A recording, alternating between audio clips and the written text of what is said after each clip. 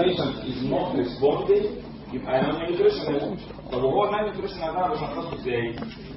دي تحقيق طبعا لكن على الاقل سنكم دي المعلومه الاولى اللي لكم انه لو عيان لا يستجيب does not respond to vitamin D المفروض في خلال شهرين يكون استجاب لازم أفكر في non nutritional والمناسبه ال malnutrition اللي بتطلع غير ما أنا قلت يعني في الكالسيوم لو normal فاكرين وال phosphorus very low وال alkaline phosphatase إيه؟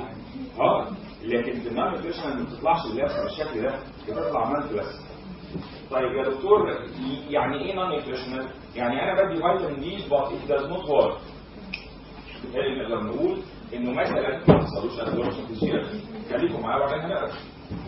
ده مش العنوان الأول عندك ده هتلاقيه العنوان الثاني أو الثالث. malabsorption ما حصلوش ار سي أو حصل له absorption وراح ال liver ما حصلوش activation مش ال liver مسؤول إن مجموعه الهيدروكسيد ال liver ده فيه بارسيلفيا ولا cirrhosis ولا أصلا ما بيعرفش يعمل hydroxylation فيقوم يحصل failure of activation of vitamin D مهما كلت لا توجد response أو ممكن يكون failure of activation in the kidney ما هي ال kidney مسؤوله ان هو يعمل more and more activation ونحط مجموعة هيدروكسيد في ال position number 1 ممكن vitamin D كو fully activated ويروح ال bone عشان يعمل deposition هو بيعمل deposition ل calcium and phosphate في الخلايا ال mature ولا ال immature؟ ال mature؟ كالسيوم اللي جوه انزيم اسمه إيه؟ alkaline كيف ال alkaline phosphatase ده مش موجود. يا نهار ابيض ال alkaline phosphatase دي ساعات خلقت ربنا كده أطفال وزعلوا. alkaline phosphatase واسمها congenital hypophosphatasia مش phosphatemia congenital hypophosphatasia نقص ال alkaline phosphatase في العظم. وده مهما حاولت اقنعه إنه يرسل الكالسيوم والفوسفات مش هيرسله وجاي صفر تاني وأخير. أحط له الكالسيوم في العظمة وبنينا العظمه زي الفل. العظمه بقت جميلة جدا. لكن جت غده اسمها ال parathyroid gland كلكم تعرفوها حصل فيها ورم. طلعت para هرمون يدوب العظمة. وأنا قلت لكم لما ال parathyroid hormone يزيد يعمل bone resorption يعمل bone إيه؟ resorption ويدمر العظمة. يا كذا طريقة لجبت وعشان أنا لقيتها صعبه في المذاكرة عملتها لكم story vitamin D دخل ما حصلوش. أو ما حصلوش activation فيه.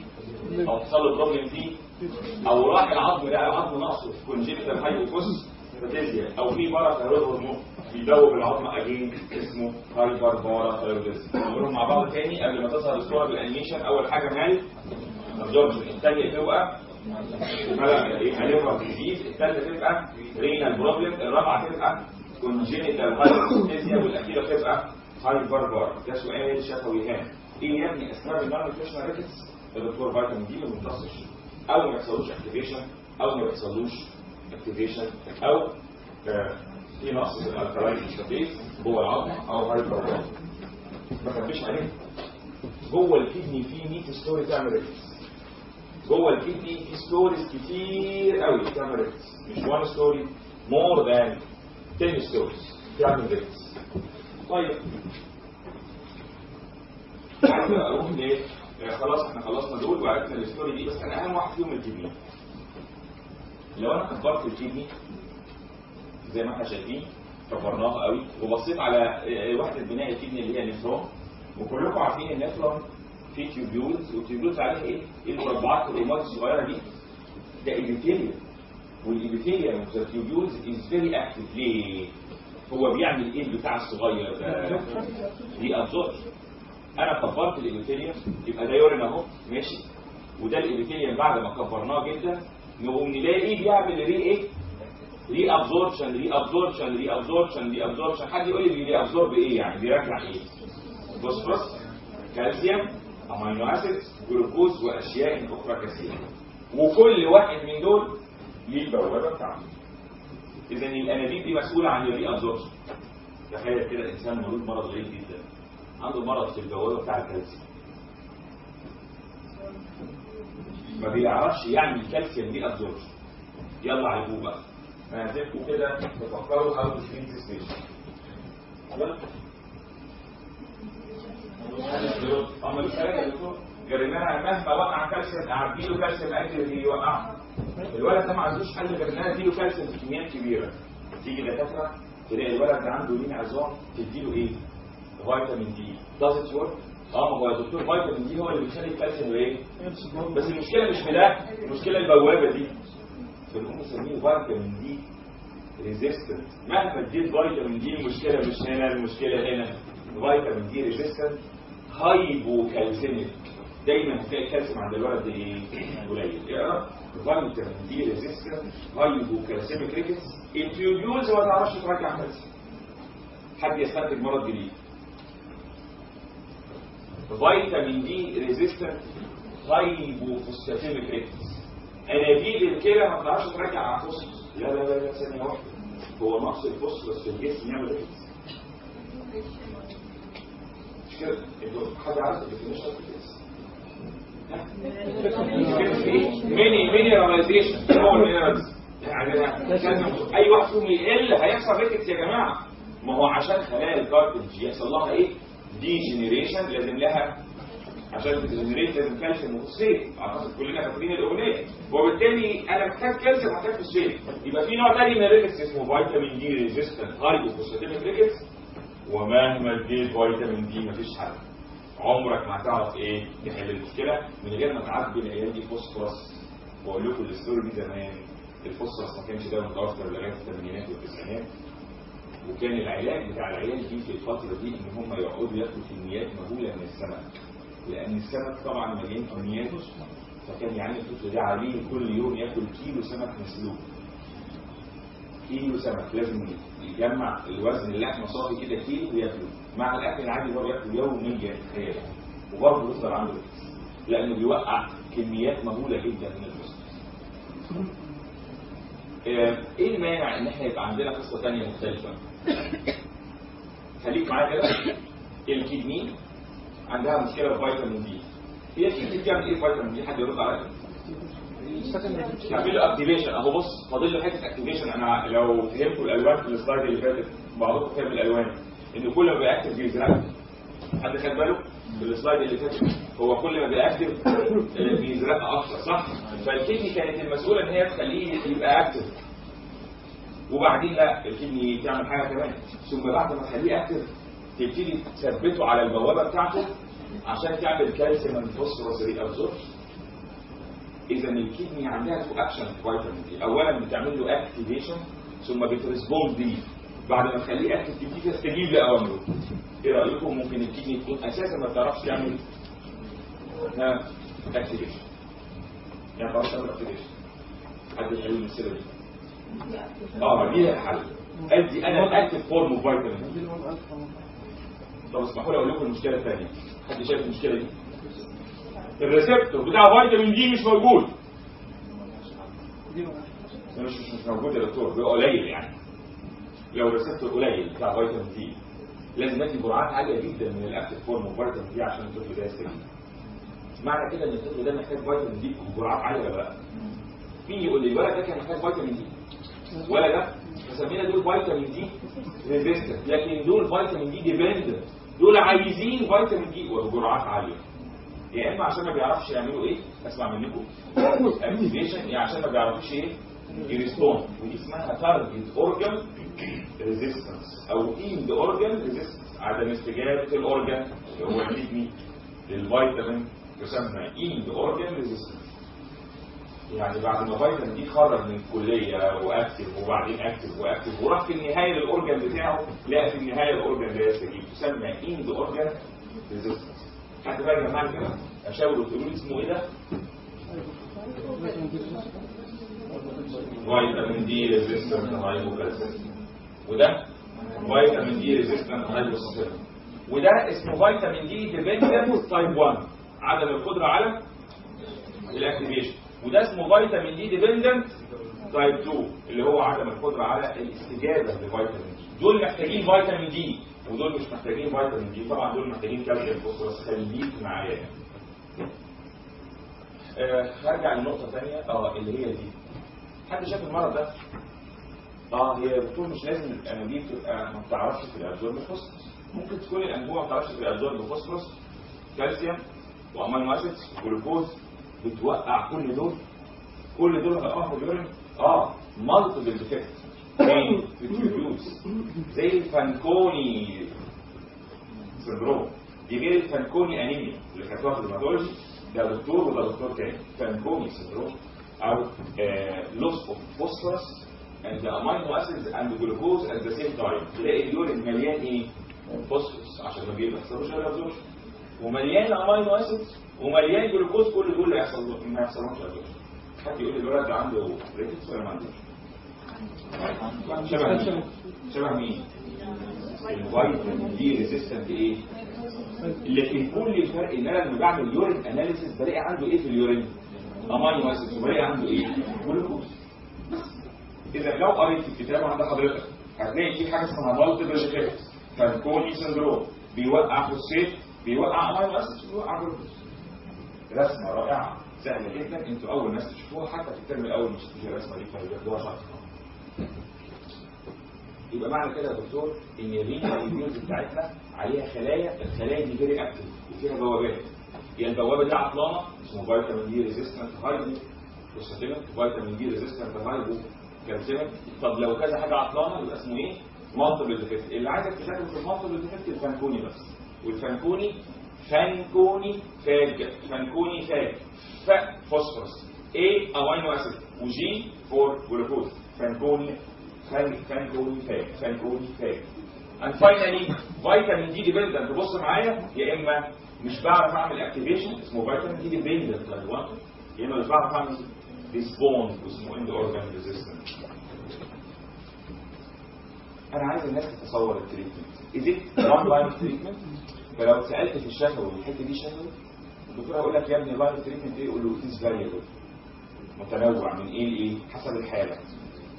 مش عايزك تقول الكلام اللي في الكتاب عنه. أنا عايزك تقول له في الفيتامين دي ريزيستنت هاي الولد ده لازم ياخد هاي دوز إيه طب وفي الفيتامين دي ريزيستنت هايبوكالسيميك لازم ياخد هيدروجين في إيه؟ طب وفي الفيتامين دي ديبندنت لازم ياخد هيدروجين في إيه؟ بس أنا عايزك تقول له كده اكتف ولا إيه اكتف فيتامين دي؟ اكتف وسيبه بقى هو ينهار ويريجريس قدامك ويشرينك زي إعلان مور بالظبط انت لو عملت الكلام ده هتبقى إنسان مدمر اللي قدامك لأنه يفترض فيك إن لو الدكتور قال لك تعرف حاجة عن ال nutritional تقول له لا لكن لما يلاقيك فاهم كل حاجة في ال non nutritional وعارف فكرة ال tubules بتعمل إيه فأنت صدقني لازم هي regress قدامك كده خلصنا سؤال شافه مهم جدا وفعال جدا بالنسبة للناس اللي جاية متأخرة كارثه تعالوا نروح على الدرس اللي بعده infantile tetany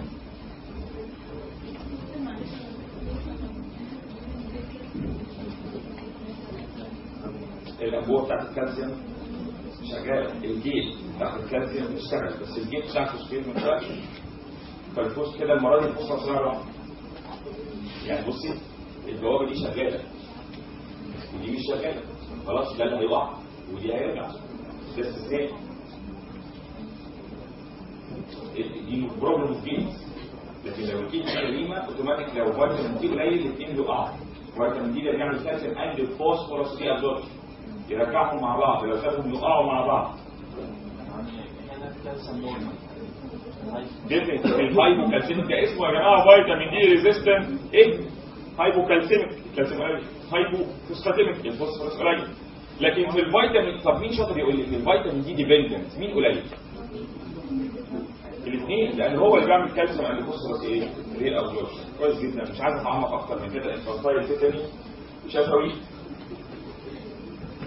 تمام شفوي فلاجني تريكس رحت الامتحان الدكتور امتحنك تريكس فاتفتحت سيرة التيتاني ليه؟ لأنه طبعا من الكومبليكيشن تريكس تيتاني خليني افهمكم يا جماعة انه لو دي مصل من بتاعتكم وده يبقى إيه؟ nerve فال nerve دايما بره إيه؟ بره positive مش ال nerve يعني أي خلية بيبقى بره positive وجوه negative وده واضح جدا في ال muscle وفي ال nerve fibers والفرق في الكهرباء ده اللي هو بره negative قوي جوه negative قوي وبره positive قوي ده اسمه polarization يعني وجود قطبين. قطب إيه؟ موجب وقطب سالب وكنت منتظر إن أنتوا تردوا ده اسمه إيه؟ polarization اذا نحن في ظروفنا الطبيعية عندنا polarity فرق كهرباء بره positive وجوه negative. طيب إزاي الإشارة تمشي. الإشارة تمشي تبدأ الإشارة تمشي لما الفرق في ال polarization ده يقل. يعني هنا minus 50 وهنا positive 50 ال 50 دي تقل وال 50 دي تقل تلاقي الفرق بقى قليل قليل قليل عشان تنعكس الكهرباء. وده بيسموه في الطب depolarize فقدان ال polarity ما هو ده polar موجب وده minus فلو الكهرباء قلت ده positive وده negative ده اسمه depolarization أعمل فرق تاني بقى اسمه repolarization إيه يبقى كهرباء positive و negative ال positive بعيد عن ال negative ده polarity حلو. إحنا كده اعصابنا حلوة كل ما يقربوا من بعض كل ما يبقى ال action potential سهل جدا يحصل لأن ال polarization ضعيف. فال depolarization سهل. so so, لما بقلل الفرق ده بزود ال excitability لاني بسهل ال action potential إيه اللي يفرق؟ اللي يخلي الكهرباء هنا تضعف؟ قال لك أكتر حاجة إن أنا أقلل الكالسيوم والمغنيسيوم أو تسايد ودول لا مش بس هم positive charge دول كمان بيجيب الصوديوم اللي موجود بره كتير. مش مهم التفاصيل لأن كده هتوهك طب إزاي أقلل الكالسيوم والمغنيسيوم؟ hypocalcemia. تخلي الكهرباء اللي بره إيه؟ ها؟ وال hypo إيه؟ magnesemia حد يقول لي ال alkalosis بيعمل إيه؟ بيقلل يخلي الكالسيوم يروح ينام على ال carrier البروتين بتاعه فاكرين في كل هذه الأحوال سواء الكالسيوم قل أو المغنيسيوم قل أو الكالسيوم راح يبات في بيته بسبب ال alkalosis ده هيترتب عليه. بص كده ان ال positive اللي بره بيروحوا وال polarization بإيه؟ وده اسمه depola وده بيسهل ال action potential لدرجة إن ال nerve ده ممكن يدي order لوحده. وال order لو طلع من ال nerve لوحده يخلي العضلة دي contract لوحدها. وعشان العضلة هي كمان متوتره لا شك إن هي هت contract وممكن ما تعرفش ت relax. هو ده اللي اسمه tetany. في فرق بين ال tetany وال convulsion ال tetany يا جماعة انبط طلعت من ال nerve دون علم المخ. أما ال convulsion ال order طلع من ال brain convulsion the origin of the impulse from the brain. أما ال tetany فال order طلع من ال nerve. عيب ما يصحش. لازم نكون فاهمين. tetany الاشاره طلعت من ال nerve إحنا كده عرفنا أول سطر بس إن ال hypocalcemia وال alkalosis وال hypomagnesemia بيسهلوا ال action potential بيزودوا بين قوسين بيزودوا ال excitability خلصنا السطر ده.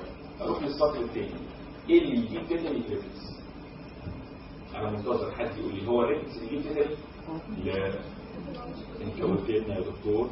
إنه في ال rickets لو vitamin D قليل الكالسيوم والفوسفورس هيقلوا بس الكالسيوم هيرجع normal under the effect of parathyroid حد بقى يقول لي إمتى الكالسيوم يقع؟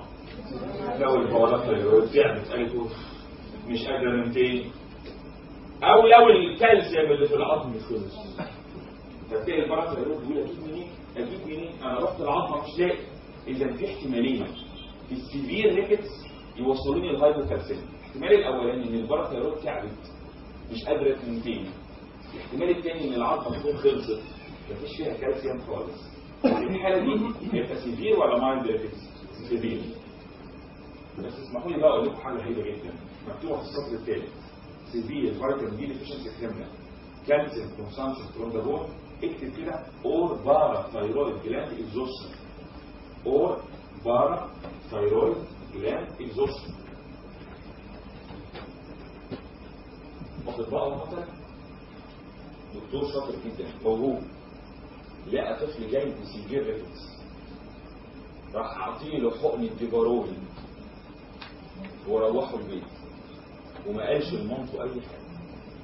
مامته بتاكله عيش ومكرونة ولسان عصفور ودي حاجات ما فيش فيها كالسيوم. بطنه فيها كالسيوم؟ بطنه فيها كالسيوم؟ لا. vitamin D الدكتور حقن vitamin D رائع. vitamin D راح ال intestine عشان إيه؟ كالسيوم وإيه؟ ما لقيش. فما عرفش يعمل الشغلانة دي. وبالتالي الكالسيوم والفوسفورس اللي في ال blood فما فيش حاجة أصلا هتقع في ال urine. فقال طب أنا مش لاقي شغلانة أعملها يا جماعة. فيروح vitamin D اللي أنا حقنته بجرعات عالية يشتغل الشغلانة الوحيدة دي. يعمل إيه؟ deposition in the bone حد يقول لي النتيجة النهائية إيه اللي حصل في الكالسيوم والفوسفورس هيقع. حد بقى شاطر يقول لي اذا لو أنا بدي vitamin D لازم أكون عامل حاجة مهمة جدا. أكون معبي ال GIT كالسيوم. وفوسفورس يعني الولد شارب لبن واكل زبادي واخد إقراص فيها كالسيوم. عشان vitamin D يشتغل الشغلة دي ثم يشتغل الشغلة دي. لكن ما ينفعش إن أنا أدي shock therapy و vitamin D من غير كالسيوم فوسفورس. والولد ده الكالسيوم في جسمه يقل ويجي له كده. منك يا دكتور اديت الواد حقنه مشنج. أيوه. مين فيكم جاب كلينيكال سينس استنتجناه وبدانا نعمله فيبريشن أكتر من 15 سنة؟ نعمل إيه؟ يعني ليه حقنه واحدة إيه كده؟ ده؟ حقن الكالسيوم في العضل جنجرين المفترض حد عنده فكرة؟ أول يوم يومين أنا ببدأ بكتب كده. كالسيوم شراب معلقة ثلاث مرات في اليوم. تاني يوم فيتامين د يعني بدي الكالسيوم من اول يوم وبعدين ادي vitamin D بعدين. يعني دي الكالسيوم الأول ما تكتبش ده. ده sense بس ما ينفعش تدي جرعة عالية من vitamin D لوحده. من غير ما تكون ضامن إن بطني فيها كالسيوم عشان الشغلانه دي تحصل جميل دكتور. هو الولد اللي الكالسيوم يقل في جسمه ال normal كالسيوم من كام؟ لكام؟ من كام لكام أسأل؟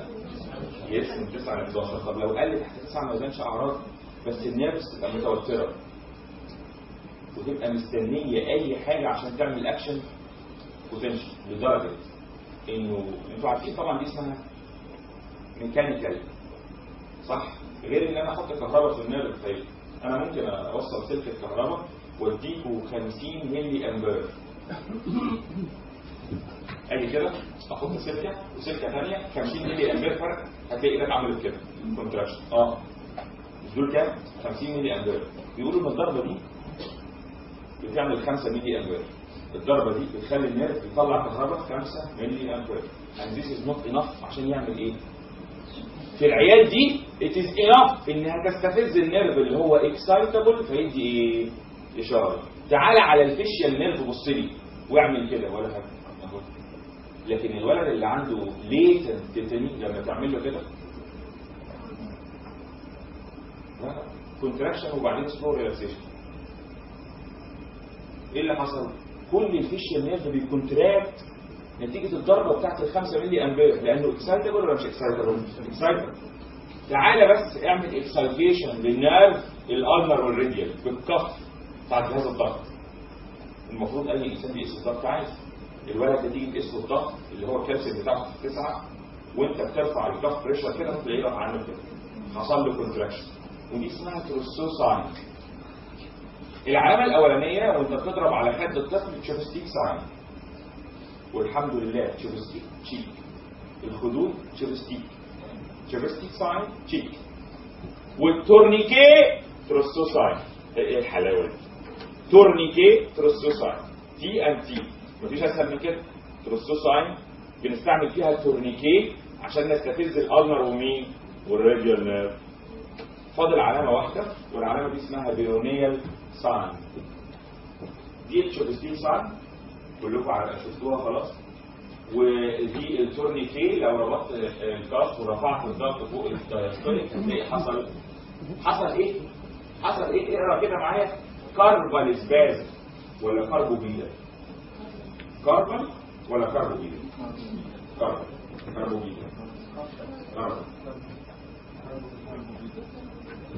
carpopedal ربطت الضغط حصل carpopedal what is pedal حد عارف الرجل كويس. طب أنا ربطت ال cuff هيحصل pedal ليه؟ This is carpal. carpal من metacarpal carp يعني ايد باللاتيني و pedal يعني رجل باللاتيني فيحصل carpal إيه جاب رجله في إيده.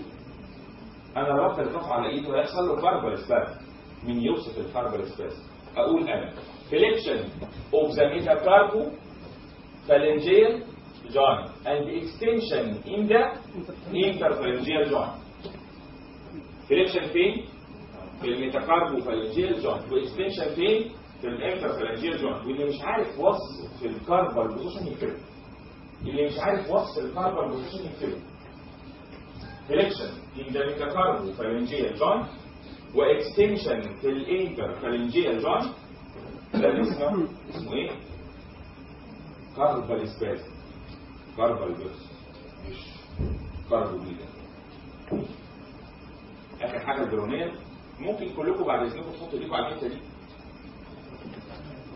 هتلاقي فيها عظمه بارزه جدا سخيفه يلا كل يحط ايده هنا دي إيه راس كورة.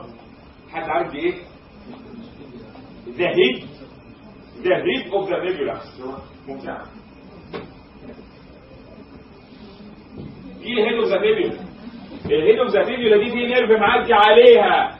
اسمه ال peroneal nerve ال peroneal nerve ده ماشي كده وراح لل nerve لل muscles اللي قدام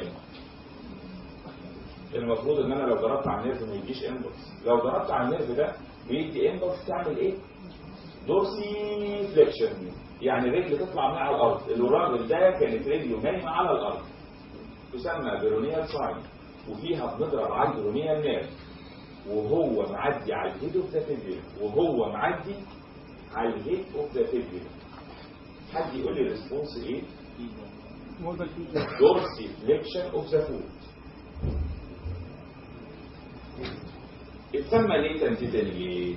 لأنه ما ظهرش قبل ما الدكتور أخذ اكشن، إيه الاكشن ده؟ يا بيضرب على الخدود يا إما بيضرب على البيرونية النيرف يا بيعمل tourniquet. ماشي. لكن يا دكتور بعد كده هيظهر لوحده. لوحده إزاي؟ لما الكالسيوم ينزل تحت سبعة خلاص الكلام ورا يبقى اسمه مانيفستيتني فالولد ده يقوم يديله بقى بص بصوا كاربو وكاربو رجله بيتا اسباس فيبقى اسمه كاربو وبيتا اسباس إذا الكلام ده هيجي في الأربع أطراف ويبقى اسمه كاربو بيدا لازم يعمل كده بايديه وبرجليه. هتلاقي عنده كمان فليكشن رجليه حاجة اسمها الميتا لارسو فالنجيال جوينت واكستنشن في الانتر phalangeal joint برجليه وإيديه. Is painful لأنها continuous. يعني الولد يعمل كده ويروح يعيط لمامته ويقول لها يا ماما إيه ده؟ ويعيط. لو ولد بيعرف يتكلم يعني يقعد يسألها إيه ده؟ إيه اللي حصل في ايدي وعلى ما بيجي لك ال hospital بعد ربع ساعة نص ساعة بيكون إيده قلقانه جدا من ال contraction. جرب أعمل كده بس وأنت ماشي رايح الكلية وشوف على آخر ما توصل هيكون وضع إيدك إيه. painful جدا. لكن لو الكالسيوم قليل هيخلي كمان عضلتين تانيين ينقبضوا. اسمهم ال cricoarytenoid دول في ال vocal cord بيقفلوه ولا يفتحوه cricoarytenoid لما ي contract يعملوا كده. اللي حصل لي ال stridor إيه اللي قفل ال vocal cord كده؟ ال cricoarytenoid بس المصيبه إن هي مش هتفتح. هيفضل الولد عامل كده على طول. طب الكالسيوم لو قل أكتر وأكتر بتبتدي الإشارات دي تطلع جوه ال brain. ما هو ال brain ده برضه فيه polarity بس الإشارة لو طلعت من ال brain يبقى اسمها إيه؟ convulsion ويبتدي الولد ده يتشنج ويتوفى إلى رحمه الله. مين يقول لي أي إنسان قدامي عنده carpopedal spasm وعنده stridor و convulsion اديله دواء اسمه إيه؟ anticonvulsion صح؟ لا. any convulsion اسمع معايا. Should be treated with anticonvulsant except ال hypocalcemic وال hypoglycemic دول مش علاجهم anticonvulsant دول علاجهم treat the cause intravenous calcium can stop convulsion within 5 seconds. ركب الكاميرا ابتدي احقن واحد اثنين ثلاثة أربعة خمسة مفيش convulsion تصوروا السرعة قد إيه؟ الدايزيبام بيوقف ال convulsion في 60 ثانية. الكالسيوم في خمس دقايق. مفيش أسرع من كده. ال hypoglycemia الجلوكوز ي stop convulsion في 30 ثانية. ما تكتبوش أرقام لكن أنا بفهمك إن دول الحاجتين الوحيدتين في العالم اللي مش هدي diazepam لل convulsion ده أنا هعالج السبب مباشرة. So we are going to give intravenous calcium gluconate very slowly عشان ما نعملش arrest. كلكم عارفين الكلام ده. صح ولا لا؟ وبعدين؟ والله احكي لكم. طب الريش بعدي كده على الحوادث. أتمنى يكون الموضوع خلص. ما بقتش بعدي كتير دلوقتي. آه لكن كنت عادي ألاقي طفل قاعد مركب كانيولا بيعمل إيه؟ بياخد كالسيوم. أعرف إنه كان جاي في كتن كنت جاي عامل كده؟ آه يا دكتور كان عامل كده. ومع أول حقنة إيده ريحت خالص وفكت وبقى كويس. طب هو قاعد يعمل إيه؟ مستني الحقنة الثانية بعد ست ساعات. طب وبعدين؟ وبياخد هياخد حقنة ثانية وثالثه ورابعة ويمشي. هما ثلاث أربع حقن وكفاية. طيب. انت ماشي حاج خلاص خلصت آه ماشي. فين العلاج اللي ماشي عليه؟ هم قالوا لي خلاص كده. والولد مروح فيه حد يقول لي إيه الغلطه اللي غلطوها نوابنا الاعزاء أشوف إيه اللي عمله hypocalcemia واضح وضوح الشمس. square head و wide anterior fontanelles واضحين لكل mentally retarded الدكتور في مصر. و deformity في ال lower limb وال upper limb و delayed dentition زي الفل. والولد مروح بعد ما خد أربع حقن كالسيوم any MMR doctor should know that. الكالسيوم اللي حضرتك بتحطه انت بتنفخ في قربة مخرومة. لأنه من غير فيتامين D كل ده هيقع في ال kidney حالا. وناسيين إن ال kidney ما بتعرفش تعمل كالسيوم فوسفور 3 من غير فيتامين D. انت حضرتك الحقنة اللي بتعملها دي بهدلة للولد و thrombosis في ال vein وبهدلة. وممكن ت gangrene وممكن إيده تتقطع من حقنة تتاخد غلط عشان حضرتك مش مشيته على فيتامين D. نسيت تمشيه على فيتامين D. شد. جيب فيتامين D بعد أول حقنه حقنتها عشان فيتامين D بيمنع الكالسيوم انه يقع من ال kidney يبقى please وأنت آخر سطر في الكتاب اعتقد واضح مكتوب ولا لأ؟ diet rich in calcium و oral vitamin D supplementation to correct the rickets من غير فيتامين D والله هيجي بكرة. ما جاش بكرة جاي الأسبوع الجاي. كتير قوي الغلطة دي. يا كنا بنشوفها كل أسبوع مرة. على فكرة مش ضعف نايب من كتر ما عنده شغل ما بيلحقش يذاكر خالص. خالص. شغل متواصل صعب جدا ممكن تقعد يومين ثلاثة ورا بعض ما بتنامش. حاجة against ال humanity ماشي. وبالمناسبة هرجع أقول تاني أنتوا تقضوا بتقضوا اسعد لحظات دي. اللحظات اللي أنتوا فيها دي هي أحلى لحظات الحياة. Nothing is better than now.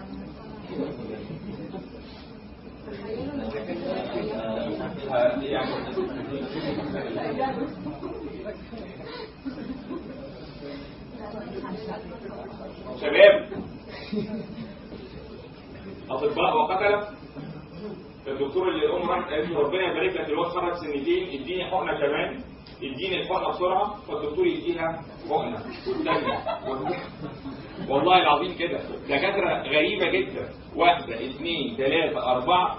دكتور إدى الابن 8 اللي الابن واحدة عندنا وممرضه 18 حقنه ديفارول 18 حقنه ديفارول الحمد لله كانت من ال 200 مش من مش من ال 600 يعني.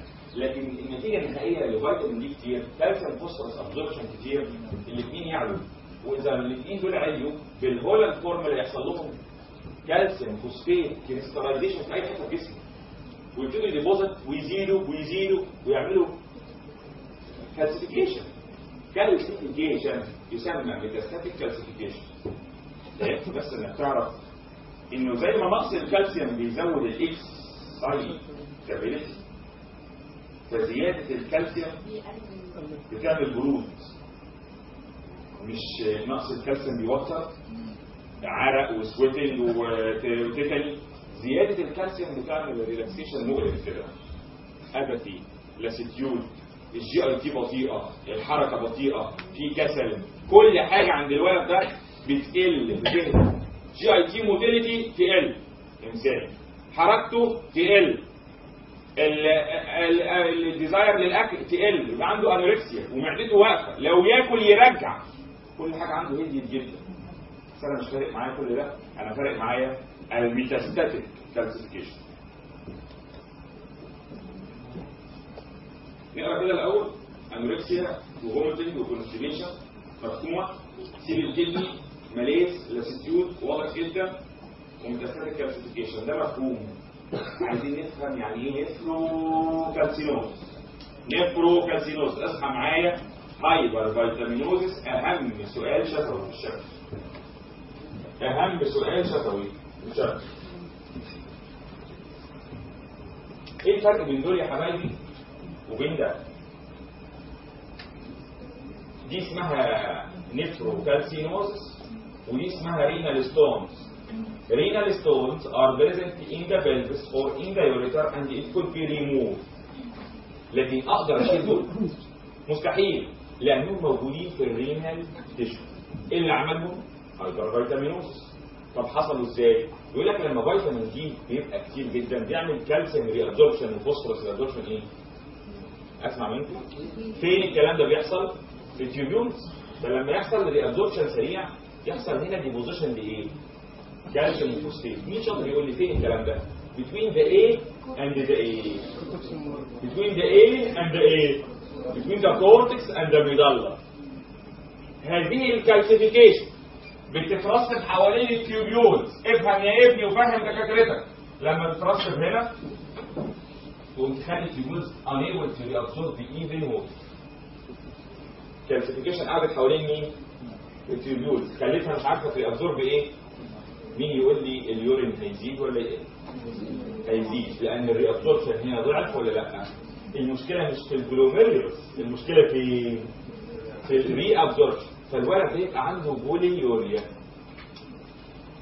آه، جات لي الممرضة دي وقالت لي آه، أنا خدت كذا كذا قلت لها استني وقفي بسرعة. أنا خايف جدا على كده. لا يا دكتور الحمد لله الولد ده بالذات الولد اليومين دول حلو قوي بيعمل بول كتير جدا. ألف مبروك. وفرحان بيعمل بول كتير. مش عارفه ليه حق- بيشرب مية ما شاء الله كليته شغالة زي الفل. بيشرب مية كتير polydipsia وبيعمل بول كتير بس كده في calcification حوالين مين؟ ال tubules عملت للولد ده سونار بصيت لقيت عنده فعلا calcification in the tissue of the kidney في ال corticomedullary junction نقط نقط نقط نقط اسمها إيه؟ nephrocalcinosis أعراضها poly إيه؟ polyuria و poly إيه؟ و dipsia وستنتهي ب renal failure لو استمر العلاج بفيتامين D لو قست الكالسيوم هتلاقيه عالي جدا. ولازم تعرفوا إن الكالسيوم الفيتامين D عدو الكورتيزون. فاكرين؟ قلت في ال nephrology كده. وبقول لكم برضو هنا الكورتيزون عدو فيتامين D. فإذا كنت هتدي فيتامين D لطفل وعملت له toxicity ادي كورتيزون هيهدي القصة دي الكورتيزون antidote لفيتامين D. بيعطل شغله. هيقلل الكالسيوم to the normal in the blood هيقلل الكالسيوم absorption from the GIT يبقى هنوقف فيتامين D وهنوقف الكالسيوم وهندي كورتيزون هنحل المشكلة على طول. ما هو الكورتيزون والفيتامين D are antidotes لبعض عرفنا سؤال في غايه الأهمية وهو hypervitaminosis. يمكن الصفحة اللي بعد كده حضراتكم عارفين إنها للقراءه وأروح لصفحة آه، ما شاء الله في حد قال 27 ممتاز يا ابني ركز معايا.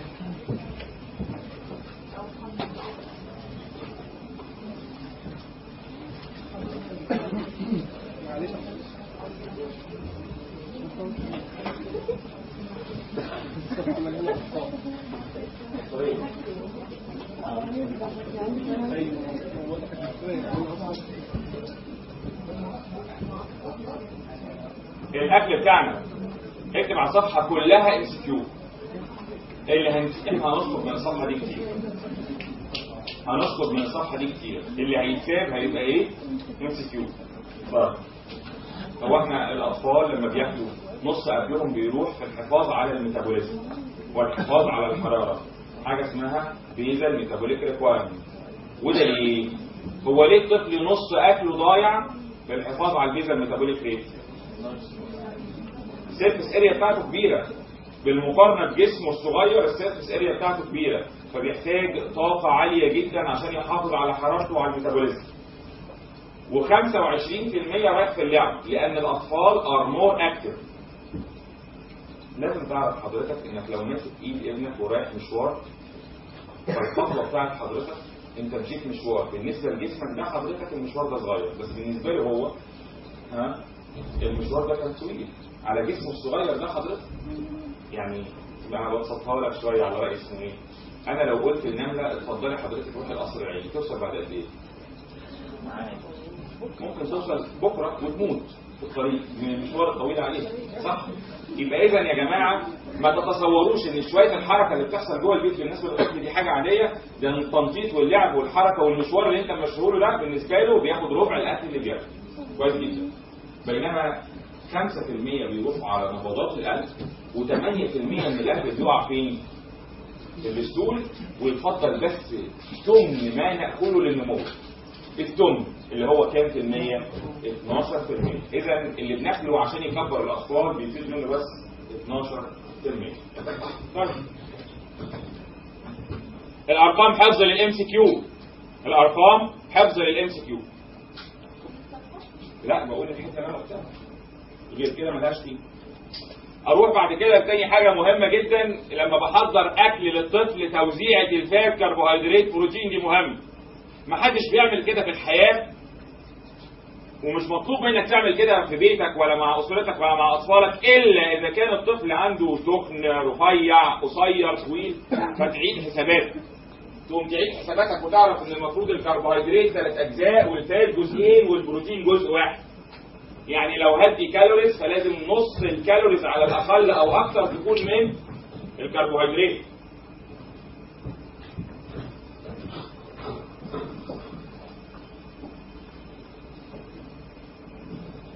آه، واثنين ثلاثة اثنين واحد معنى كده ان الاثنين دول ما ينفعش يزيدوا عن النص الفات والبروتين دول نص الأكل. واضح جدا جدا ان الكربوهيدرات هي الطاقة السهلة يعني دي لما بديها للطفل توصل لجسمه بسرعة فبركز عليه.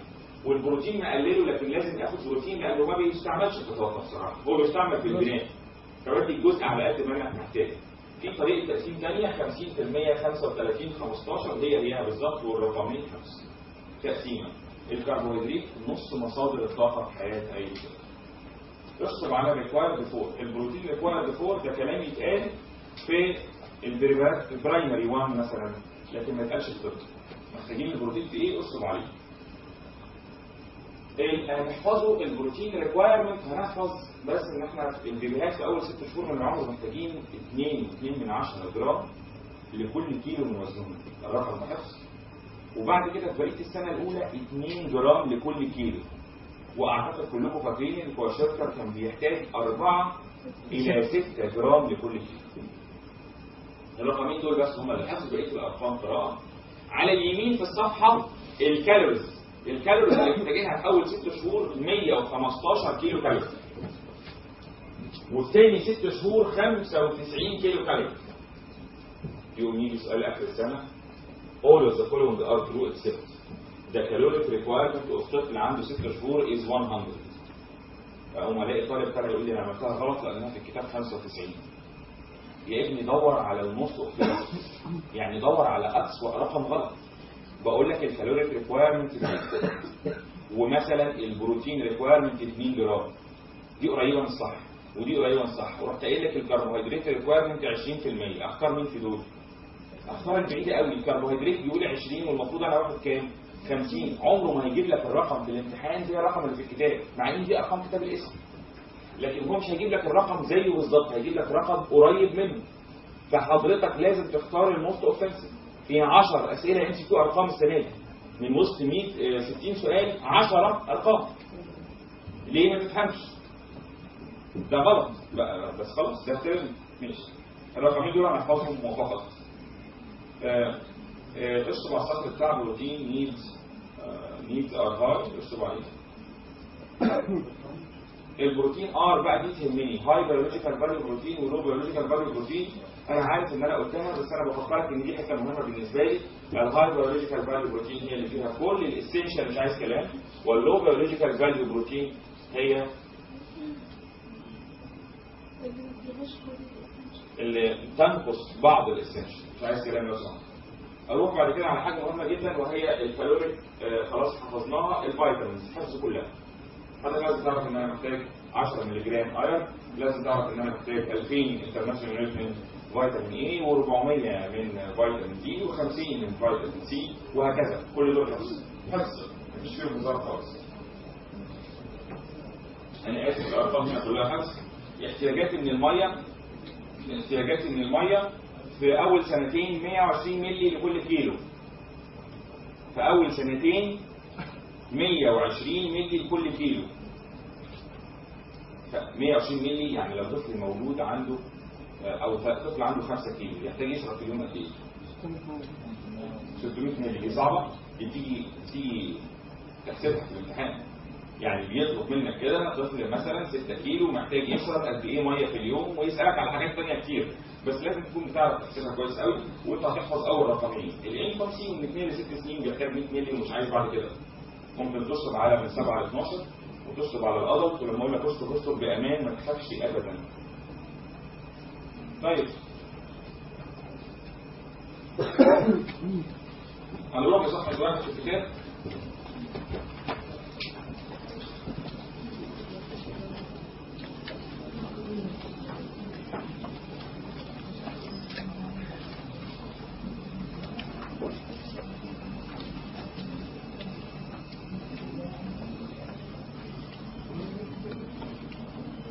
chapter هايف جدا هو مهم لكنه هايف مش محتاج مذاكره وأنا بكتبه دلوقتي عشان عارف إن ممكن يكون عليكم شوية overload عشان البطنة.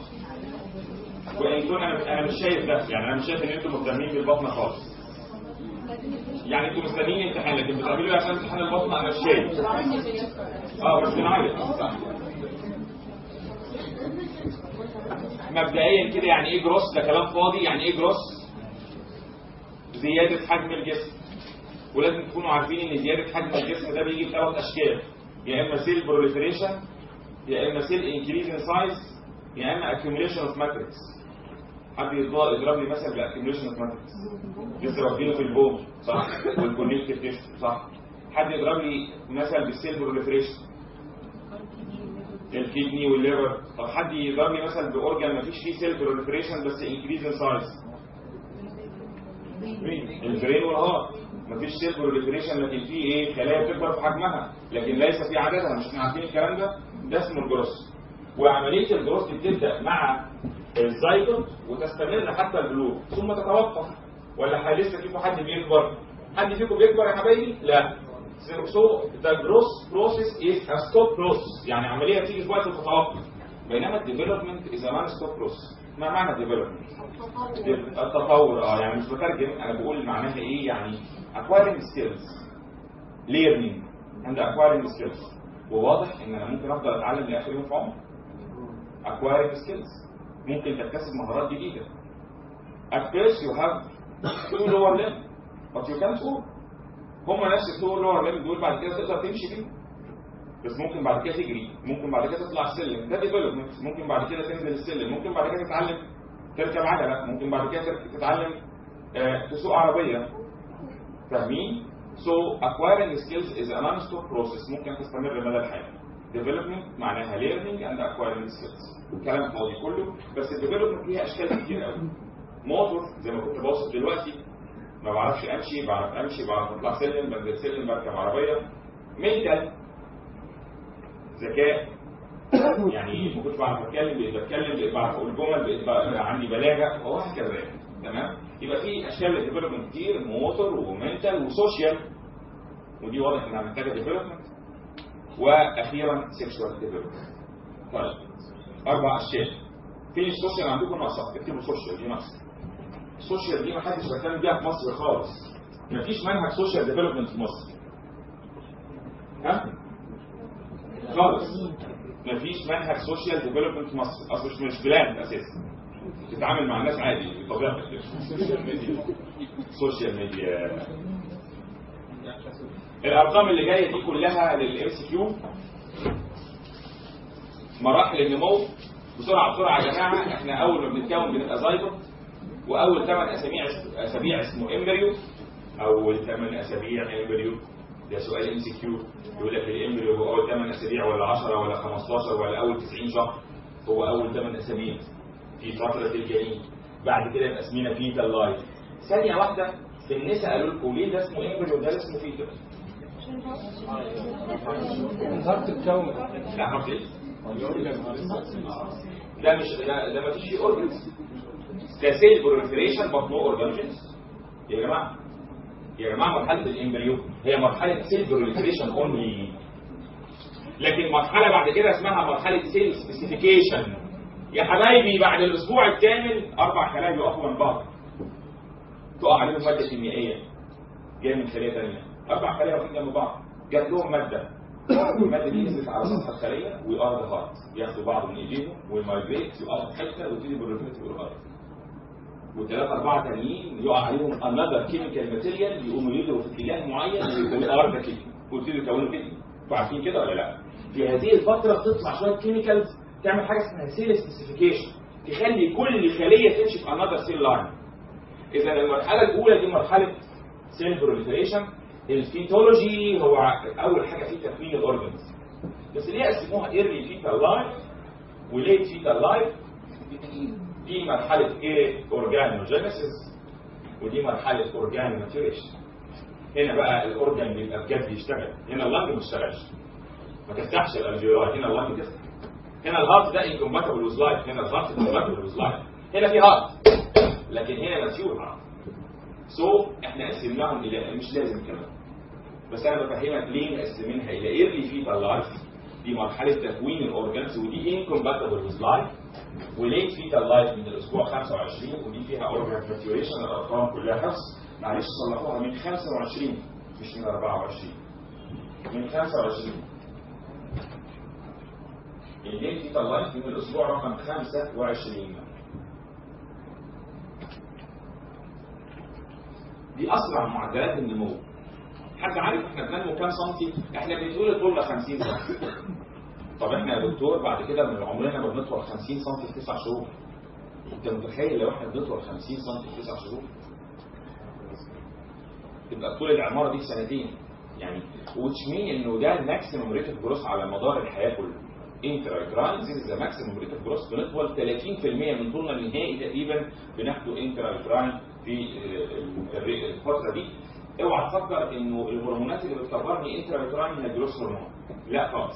إحنا بنكبر intra معتمدين على حاجة اسمها IGF 2 اسمه insulin-like growth factor 2 هرمون شبيه للانسولين والإنسولين هو أهم هرمون للنمو داخل الرحم. بدليل إنكم خدتوا في النساء إنه لو الإنسولين زاد بسبب زيادة السكر عند الأم ال baby جسمه يبقى كبير قوي قوي اذا أكتر هرمون بيكبر جوه الرحم هو الانسولين وال insulin-like growth factor 2 بيكبروا جدا بالإضافة طبعا إلى حالة الأم الصحية والغذائية. خلاص. ننزل على بعد كده بعد الولادة كلنا عارفين إن بعد الولادة إحنا بنمر بمراحل معروفة جدا المرحلة اللي الطفل لسه مولود اسمه neonate أرقام تتحدث بكلام فوق. اسمها neonate و neonate ده طفل في اول 28 يوم بعد الولادة.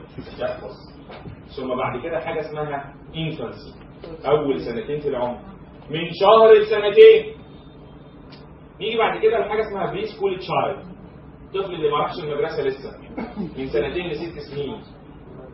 وبعدين صلحوها من 6 ل 12 late childhood من 6 من 6 ل 12 من 6 ل 12 ثم ال adolescent وال adolescent مراحل كتيرة قوي ال adolescent اللي هو فترة المراهقة اللي مش ناويين تخرجوا منها مع إنكم عديتوا ال 20 سنة لكن المراهقة دي حضرتك اللي هي من 10 ل 20 سنة. المفروض 20 هنديها لكم لغايه 25 عشان ما تحسوش من 10 ل 20 ومتقسمة العلماء مقسمينها إلى early و mid و late adolescence والكلام ده تفاصيله مش عايز خالص. الصفحه اللي جاية أول سؤال نظري؟ هقول لكم هتعرفوا منها ليه؟ زي الفل هو أنا اي كلمه هقولها اوعى تبقى دي قلقانه جدا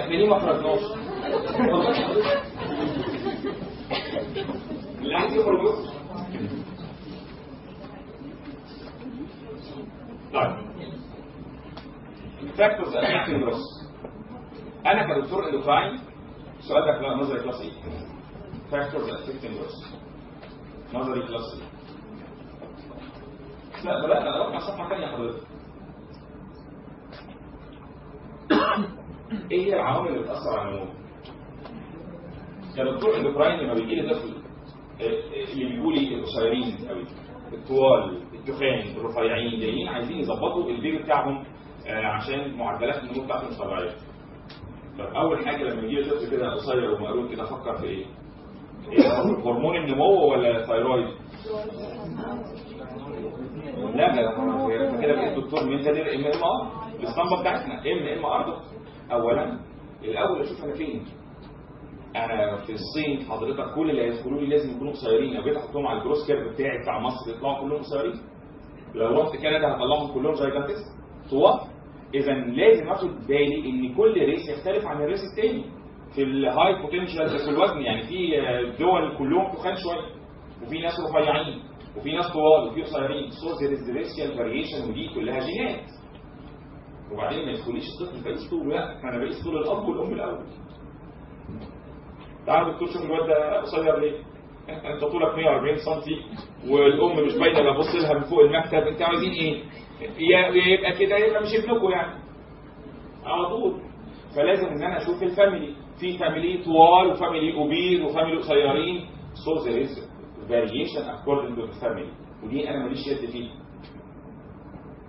آه، تجي لك أم جايبة لك توأم non identical أنتوا فاهمين يعني إيه؟ ولد وبنت. شوف يا دكتور البنت اتكلمت وطولت ومشيت والواد شوف.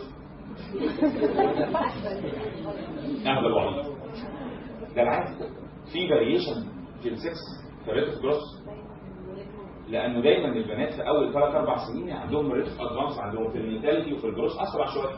تمام؟ بينما أنتوا فاهمين الباقي. يعني الموضوع بيقلب بعد كده القصة بتتقلب خالص؟ بعد كده. أنا طبعا بهزر. بس جاب بروفاستر من الشهر السابع للأربع سنين وبيبدأوا البلوغ بدري. بس ما يموتوش بدري.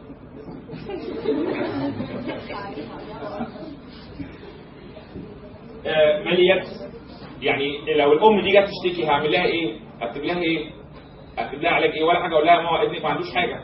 دي racial variation ده family variation ده variation different between sex إن البنت بتطول أسرع من الشهر السابع لغاية أربع سنين والبلوغ عندها بدري لو جت تسألني هي ليه البنت بلغت؟ وهي عندها 8 سنين ونص. ده عادي على فكرة. 8 سنين ونص 9 سنين ممكن يبدأ البلوغ في البنات. بينما الولاد ما بتحصل عند 9 سنين 10 سنين إذا في variation ولا لأ؟ في variation ما ينفعش تبقى أم جايبة لي طفل Down syndrome وتقول لي هو ليه قصير؟ عشان هو Down syndrome لأن ال chromosome ال abnormalities بتاثر على الطول وعلى ال height وعلى الجنس الكونتراست وعلى معدلات النمو لازم استبعد الأربعة دول. النقطة الثانية لازم أعرف العيلة دي بتاكل إزاي وبتشرب إزاي. يعني ساعات يدخل لي أب وأم تخان وجايين يقولوا لي إحنا مش عايزين اثنين نبقى فيه ده ممكن آه طبعا ده ممكن وأنا قلت لكم الكلام ده قبل كده. فاقعد مع الام أقول لهم بتختاروا إيه؟ تقول لي لا عادي نفطر العيش والفول والطعمية.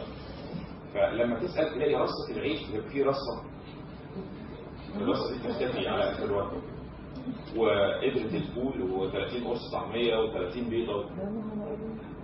الولد ده أوتوماتيك لما بيقعد ياكل بيقعد الطفل بيحب ياكل مع باباه ومامته من أول ما يبدأوا أكل لغايه ما يخلصوا أكل هم ما بيخلصوش فهو الولد قاعد يحشي عيني في معدته الصغيره بقت قد كده. فال nutritional habits دي خطيرة.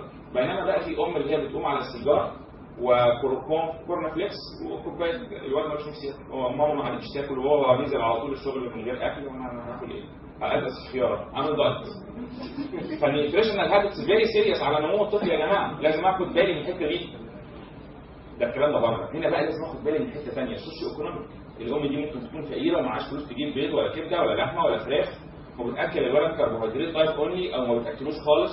اذا لازم آخد حسابي من حاجتين عادات الأسرة الغذائية over ولا under nutrition ولا هم balanced ثم الوضع الاجتماعي الوضع الاجتماعي ده خطير مش بس عشان الأكل ده كمان عشان لما يعيا مش هيتعالج يفضل عيان فترة طويلة ما يكبرش.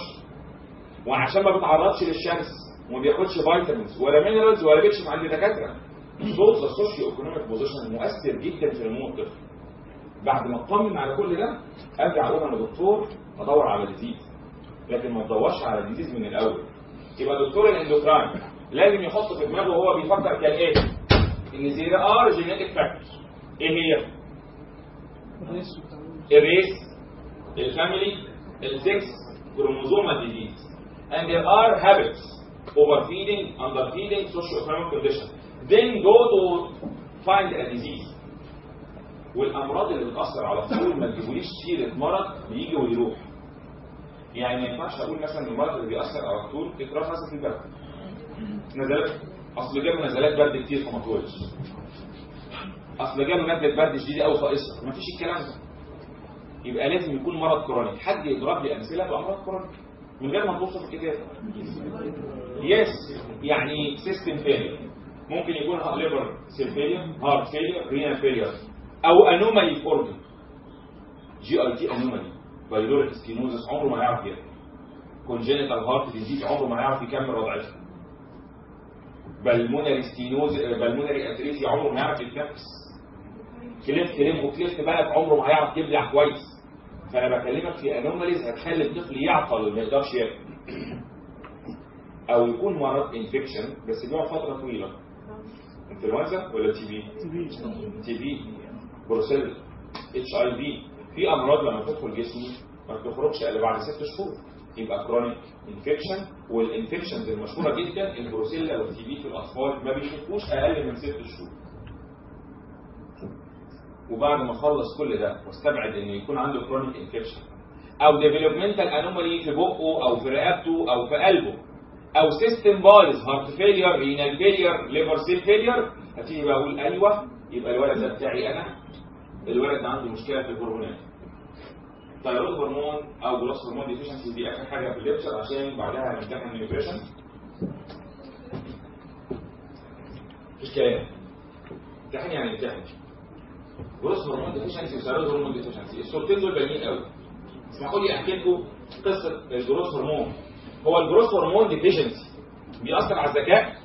أقسم بالله إن فيكم اثنين ثلاثة growth hormone deficiency دكاتره زي الفل. growth hormone nothing to do with the brain. ما بيأثرش على ذكائك خالص. خالص. هو بيطول الإنسان وبعد ما بيطوله بيبتدي يغير في شكله شوية. هو بيطول لي من ال epiphysis وبعد ما ال epiphysis تقفل يبتدي مش لاقي شغل فيبتدي يعمل فيك شوية prominences كده. frontal supraorbital ridge angle of the mandible يبتدي يوحشك شوية. And this is promoted by the androgen عشان كده الحاجات دي تبان في الرجالة أكتر. من البنات. مين اللي عمل الكلام ده؟ growth hormone. بيوحشني شوية. آه. يبقى growth hormone بيخلي الإنسان يطول طب هو بيطول أنهي حتة في جسمي كل حتة في جسمي بيطول ال trunk بيكبر الراس. بيطول ال lower limb لو إنسان عنده growth hormone deficiency يبقى mentally retarded ولا لا؟ خالص. طب يبقى شكله ugly ولا smart شكله حلو جدا. أحلى من الطبيعي. لأن ال growth hormone بيوحش شكل الإنسان أساسا. طب يبقى proportionate يعني إيديه مظبوطة على جسمه ورجليه مظبوطة على ولا disproportionate ليه proportionate لأن هو بيكبر كل حاجة. So this boy is proportionate كل حتة فيه قد الثانية smart and normal mentality أشهر شخصية في العالم كان عندها growth hormone deficiency severe growth hormone deficiency ميسي. ميسي برشلونة اخذته كانت target يعني إيه target؟ target height يعني آخر طول يوصل له 148 سم كان عنده ساعتها 10 سنين ونص. ولحقوه قبل ال closure of عملوا له growth hormone لقوا عنده severe growth hormone deficiency وعملوا له replacement ووصلوه 20 سم ما قدروش يزودوا عن كده وبقى طوله دلوقتي 168 سم بس هو كان هيبقى physically retarded مش mental retarded وشكله مش وحش. وفي نفس الوقت proportionate ألف مبروك. ده growth hormone أنا بقول الكلام ده ليه؟ لأنه عكس تماما ال thyroid hormone deficiency. ال thyroid hormone بيخلي الإنسان ما يحرقش. ال thyroid hormone بيحرق. من غير thyroid hormone تبتدي الجسم يتراكم فيه دهون و edema اسمها myxedema شكل وحش جدا. thyroid hormone بيكبر الرجلين والإيدين أساسا بيكبر إيه؟ الرجلين والإيدين. بيكبر إيه؟ الايدين والرجلين طب من غير thyroid hormone؟ تلاقي إيدين قصيره وواضحه قوي هنا الرجلين صغيرة. طب وليه الكرش والوش المتختخ ده؟ عشان البيت اللي بتقول بيت إيه؟ هل تعلمون إن ال thyroid hormone هو أهم هرمون لتكوين ال brain؟ طب أنتوا عارفين إن من غير thyroid hormone كنا نبقى حمير رسمي؟ In the first three years of life, thyroid hormone is very critical. لدرجة لو شكيت بنسبة 1% ان الطفل عنده مشكلة في ال thyroid give thyroid hormone. بيقولوا إن إحنا لو ما اديناش thyroid hormone في أول ثلاث سنين وجينا بعد كده نديه ال mentality لا تصلح للطفل ده إنه مهما عاش طول عمره يعدي primary 1 يبقى عنده 60 سنة ما يقدرش يقرأ ولا يكتب ويتكلم بصعوبة ومش فاهم الحياة بتعمل severe severe severe severe mental retardation بقت mental retarded ولا لأ؟ ugly ولا لأ؟ مكرشه وشكلها وحش ووشها مبعجر proportionate ولا disproportionate حد يقول لي الاثنين دول عكس بعض ولا لا؟ عكس بعض. smart ugly proportionate disproportionate يعني رجليها قصيره جدا جدا. mental retardation no mental retardation there is mental retardation عرفتوا الفرق بين الاثنين growth hormone و thyroid hormone لكن نقص ال androgen. what androgen do عشان ما اطولش عليكم. هي آخر حاجة السطر الأخير ده وخلصنا. إيه الأندروجين بيعمله؟ الأندروجين إيه في إيه؟ تعبتوا آه إيه. ما بقالناش ساعة. ما بقالناش ساعة. ساعه كده. ساعة بالظبط. يعني لسه نص.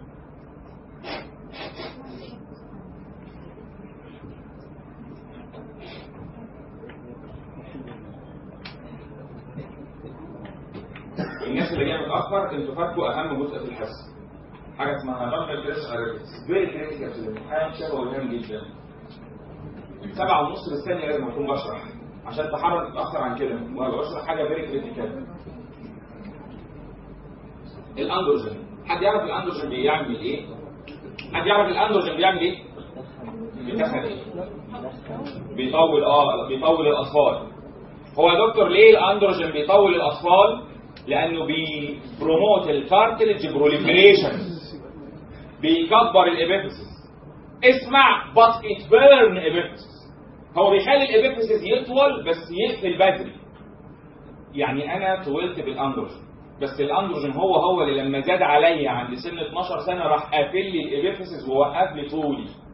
يبقى هو بيطولني بس في الآخر بيثبت الطول. طب قولوا لي لو الأندروجين في جسمي زيادة. أطول إيه؟ بسرعة. تلاقي عندي 8 سنين وأطول من صحابي.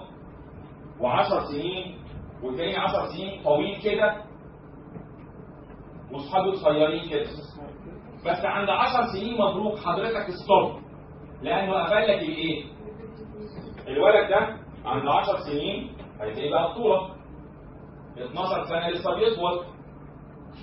ولسه بيطول وانت خلاص ثابت على كده. مين يقول لي يبقى الاندروجين زياده هيخليني طفل طويل صح؟ آه بس بعد كده as adult هبقى قصير لأن حصل لي closure لمين؟ لل epiphysis دي عكس الأغوات. تعرف الأغوات؟ بسم الله ما شاء الله. الأخ محمد علي حاكم مصر أشهر حاكم مسك مصر كلها. آه. ثانية واحدة بس. جاب 50 طفل. شال لهم ال testes كويس. لما شال ال testes العيال دي كانت بتطول ببطء شديد صح؟ مفيش اندروجين بس ال epiphysis بتاعهم ما فضلوا يطولوا لغايه سن 24 سنة. لغايه ما طولهم عدى 2 متر و10 سم فبقوا دول الحراسة. اولا هم safe على ال female ثانيا جسمهم كبير جدا ومخيف جدا جدا. اضف إلى ذلك إن الأندروجين ما بيحرقش بيحرق الدهون. فمن غير أندروجين بيبقوا مكلبظين فطويل ومكلبظ كده وما عندوش أي desire فيحرس في القصر براحته دول الاغوات المفروض تكونوا عارفين ده. واسأل سؤال. هو الاغا ده وهو طفل؟ بيبقى قصير ولا لأ؟ قصير. لكنه as adult بيبقى طويل. ما يصحش. ما تكونش عارفين الكلام ده. ودي ممكن تيجي MCQ تمام؟ مش هيقول الاغاوات آه حبيبي ضياع